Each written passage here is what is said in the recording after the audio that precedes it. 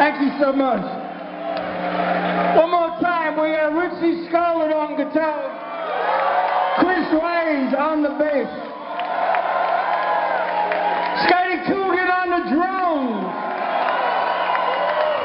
Ace Frehley Brazil, come on!